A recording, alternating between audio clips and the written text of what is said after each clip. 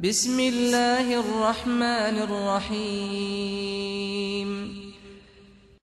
أعوذ بالله من الشيطان الرجيم بسم الله الرحمن الرحيم Assalamu alaikum wa rahmatullah my dear brothers and sisters in Islam um, just um, a very interesting topic defending the character of the Prophet ﷺ.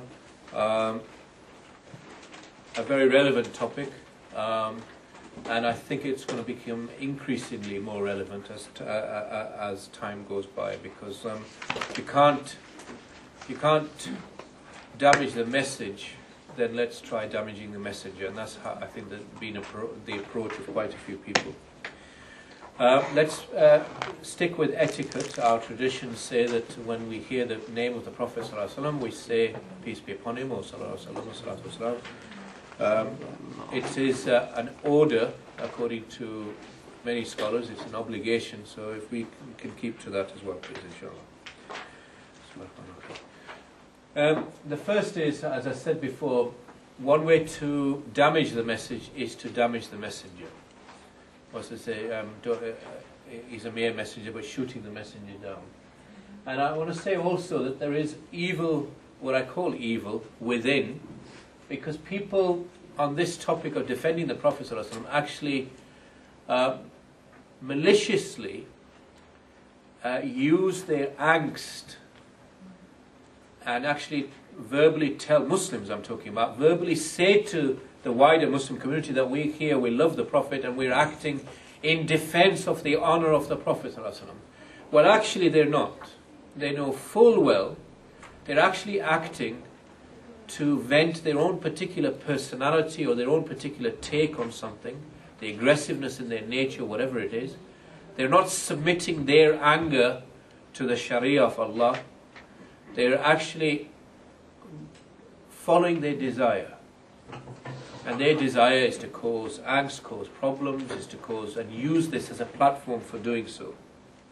And I've genuinely come across people who have done stupid things in the name of uh, uh, defending the honor of the Prophet. And when you sat down with them and I've tried to explain, well, actually, you know what you've done is counterproductive or this and that, there's no listening. It's as if they're in a different world. They don't want to hear. And a Muslim is one who submits his or her will to the will of the Creator. Okay?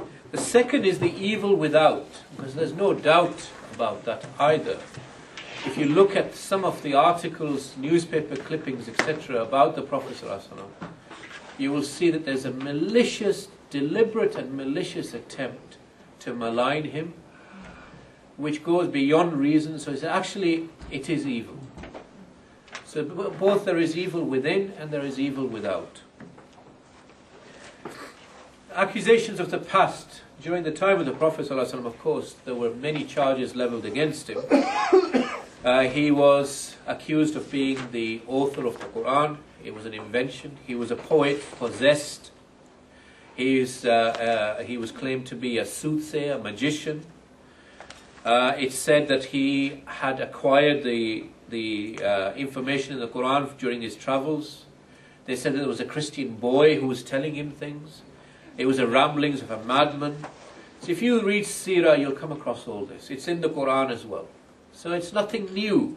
And poets were hired by the Qurayshi tribe of old to malign him, disgustingly often, because it was one of the ways that you could try and damage the message. How does the present look? Well, there are many books and articles now written against him. Certainly in 1987 88, when I got interested in Islam, there were very few. And every year you'll see more and more come. And especially after September the 11th, when the interest in Islam grew hugely, now if you go into any bookshop, you'll find maybe half of the books at least are negative. Many books are against uh, the Prophet ﷺ, if not against Islam itself. Now, when you look at the books and you analyze them, those books that are based on hearsay, I mean, it's, it's not worth them. Uh, really, they're just there for maligning. They're not interested in dialogue. They're, they're not interested in honesty and transparency. I have at home a small cartoon strip I should have bought it actually. Uh, I don't know if any of you have seen it. It's done by the Christian Evangelical uh, Organization in America. Millions were produced. I have an example of it. And it's a cartoon strip of the Prophet. ﷺ. But it's done from a Protestant evangelical perspective. And in this cartoon, a man, a Muslim man, we think he's Muslim, comes back to his village, gathers all the people together, and he said, I have something to tell you which is of grave importance. And then he says, Many years ago, the devil started to see how it could pervert the truth. And so the devil created the Pope. And the Vatican was an offshoot of the devil to try and get people away from the truth. So you can understand straight away it's Protestant versus, uh, well, extreme Protestant versus the Catholic. So the Pope is an uh, embodiment of the devil. But then it carries on, it gets more sinister. Uh, I should have bought it so you can have a look at it, it's quite interesting and disgusting. Uh, he says, uh, uh, the cartoon says, the Pope then, there you see a picture of the Vatican and so on. The Pope then, in about the 5th century, had a meeting with his cardinals. And he said, We've tried everything, but we need a new weapon. Why don't we invent a religion?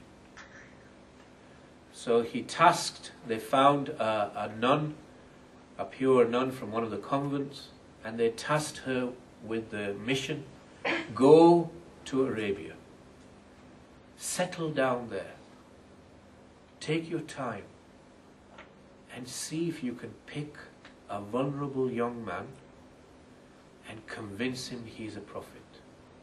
This nun's name was Khadija. And so she did that. She went out. She actually married him. And then she fed him bits. He declared himself a prophet.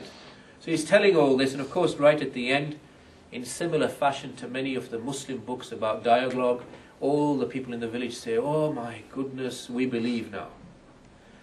And just like Muslim dialogue books at the end, the person, the Christian goes, Ashadu la ilaha wa ashadu Muhammad Rasulullah.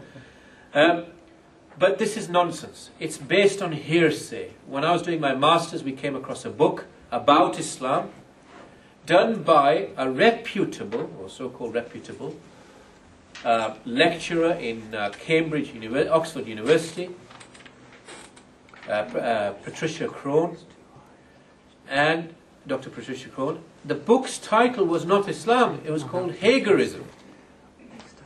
And it was based on the fact that her premise in here was Islam actually, Muhammad really, the, the whole concept of Islam didn't really start with him, it actually started with Umar uh, radiallahu anhu later on, and then it was transposed back. These books, it's easy, you can knock them back. Even my lecturer, who was a, a, a priest, he said it was just a nonsense.